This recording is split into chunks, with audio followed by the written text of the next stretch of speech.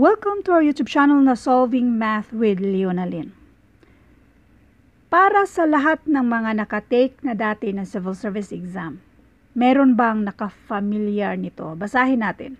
By the way, ito ay nakapost pala sa, civil, sa Philippine Civil Service Review for All na FB group galing kay Sir Norman.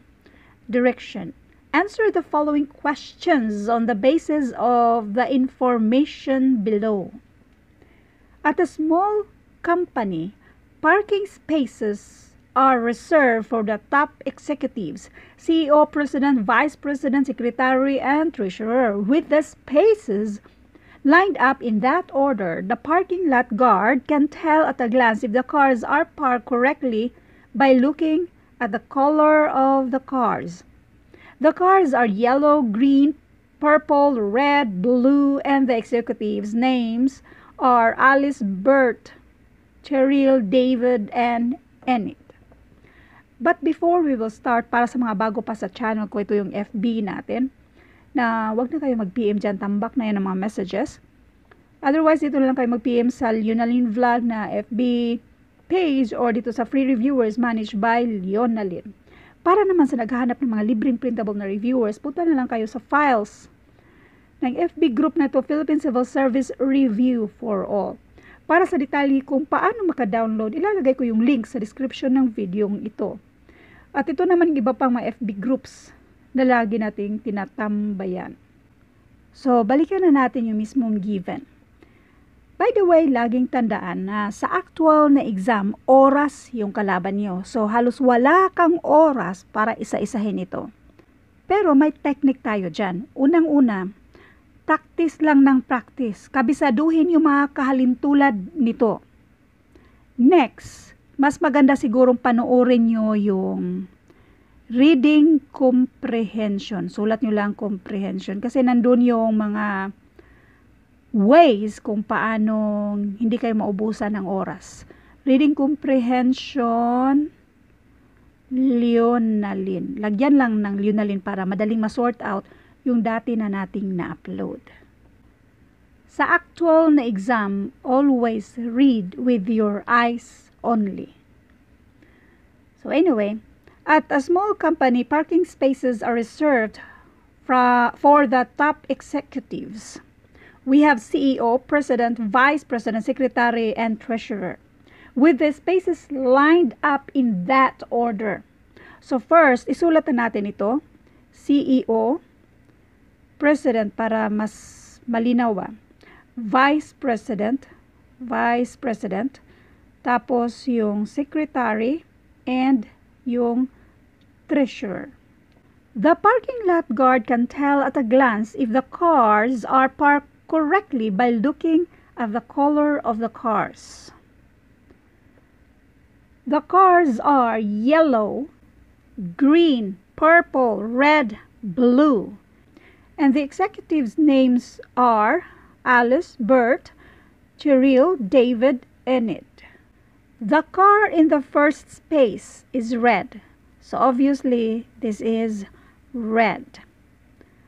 A blue car is parked in between red car and green car. So this is blue. Blue between red green. So this is green. The car in the last page is purple. So this is purple.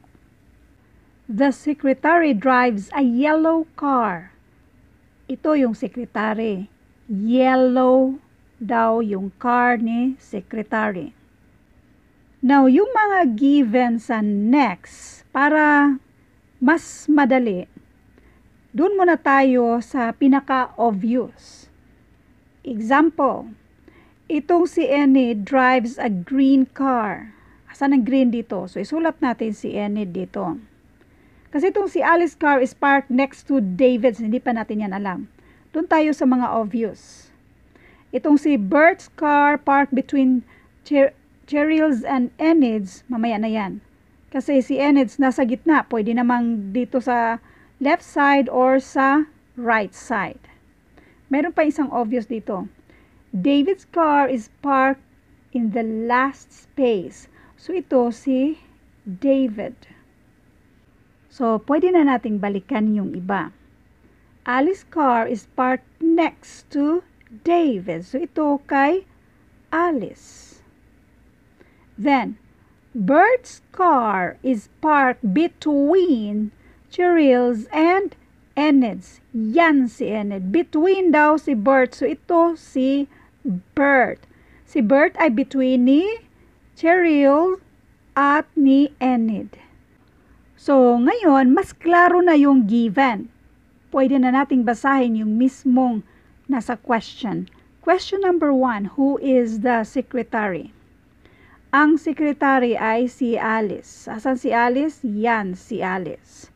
Next, who is the CEO? Ang CEO dito ay si Cheryl. Tama ba yung pagka-pronounce ko sa name niya? So, yan yung CEO. Next, what color is the vice president's car? Yan yung vice president. Anong kulay dyan? Green. So, ang sagot dito ay green. Thank you for watching at laging tandaan. Never memorize the answer because that will never help you. Kasi hindi naman natin alam kung talagang lalabas ito. Siguro 1% na ganitong ganito talaga ang lalabas sa next na exam. Nangyayari naman yan. Pero napakaliit ng chance. Kaya importante pa rin kabisaduhin kung paano sagutan or paano intindihin yung mga ganitong klaseng tanong. Thank you and God bless.